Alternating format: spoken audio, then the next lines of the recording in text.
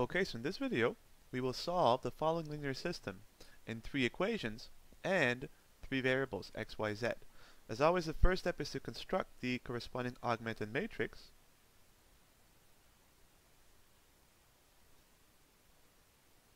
First row, second row, and the third row.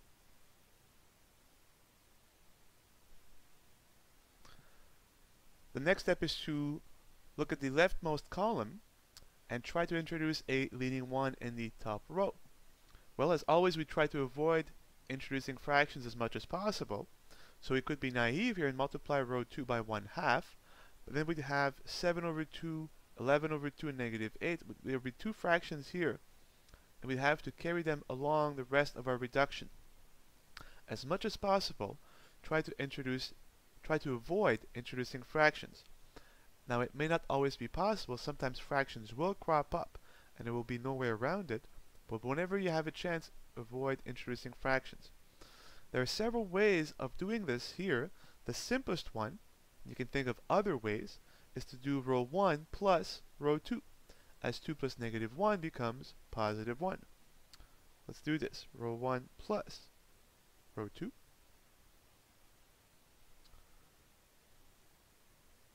common source of errors is to miscopy rows, as we are only changing the first row. Let us recopy the second and the third row, as we are not changing either one of them.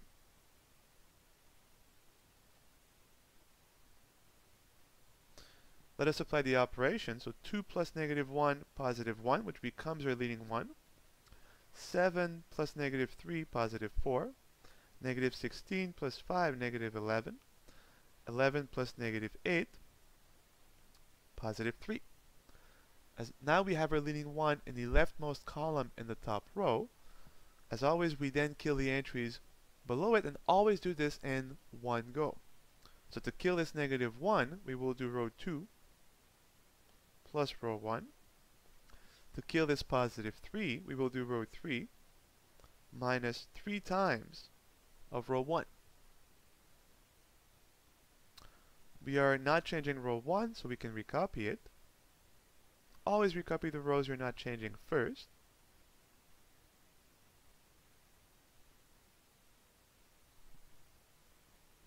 Let's apply the first row operation. So negative 1 plus 1, 0. Negative 3 plus 4, positive 1.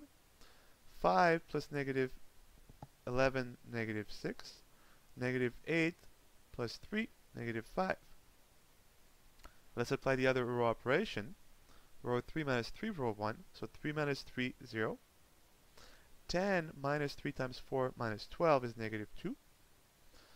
Negative 20, negative 3 times negative 11 is positive 33. 33 minus 20 is positive 13. 21 minus 3 times 3 minus 9 becomes positive 12. And now we have our leading one in the top row in the leftmost column. We've killed the entries below. So we ignore this row. And we now repeat. We start with the leftmost column and we try to introduce a leading one in the top row. We can't have a leading one here as both are zeros. So we move to the second column from the left. There are two non-zero entries. And the job, as always, is to get a leading one in the top row. Well, we get a free leading one here. Now that we have a leading one in the top row, ignoring, of course, the first row, we kill the entries below. Well, we'll simply do row 3 plus 2, row 2.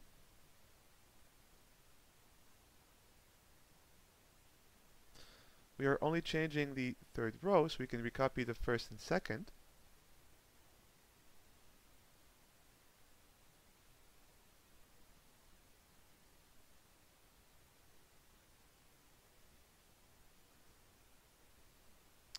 Let's apply the row operation. So 0 plus 0, 0. Negative 2 plus 2, 0. 13 plus 2 times negative 6 is 13 plus 12, which is positive 1. 12 plus 2 times 5 is negative, uh, times negative 5 is negative 10. 12 minus 10, positive 2. So we have our second leading one. We've killed the entries below it. And now again, we ignore this row and we repeat. We start with the leftmost column and we try to introduce a leading one. Well, we can't here and here because both are 0. But here we can, and it already is a leading 1. And it already is in the top row, as there is only one row left over. And we kill all the entries below it, but there are none.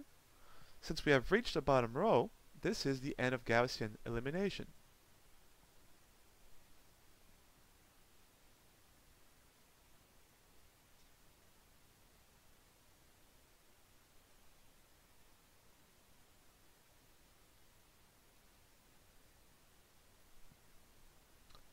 As always, we ask ourselves the question, are there any free variables? Are there variables that don't have leading ones? The answer here is no, we only have three variables, x, y, z. They each one possess a leading one, which implies once again that we have a unique solution. Every time the system has a unique solution, meaning all variables are leading variables, we always use backwards substitution.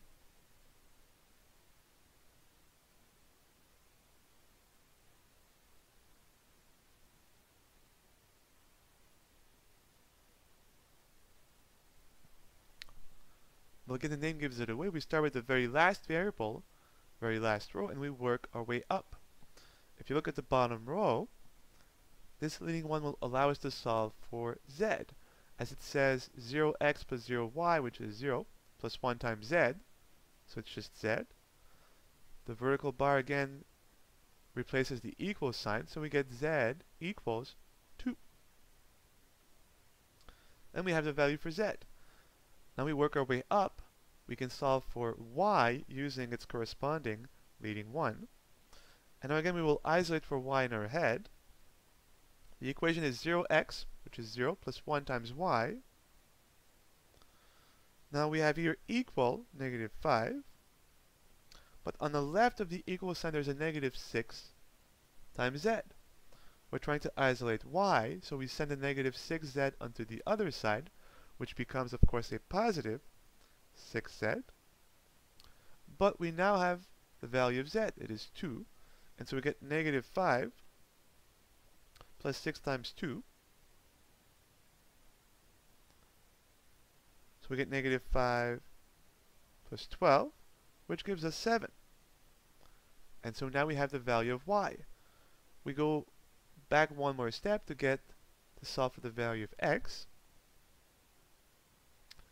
As always, look at the equal sign first, so x equals 3. But there's a 4y on the left-hand side. We want to isolate for x.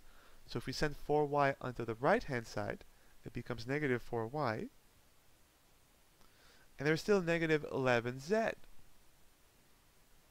Well, we're trying to isolate x, so we must send the negative 11z onto the right-hand side, which will become a positive 11z. Now we have isolated x as a function of y and z, but we have just found the value of y and the value of z, and so we substitute.